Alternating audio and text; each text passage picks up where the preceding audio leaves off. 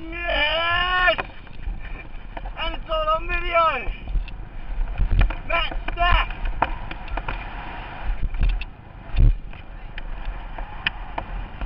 Oh, I slowed down to get Matt Stack.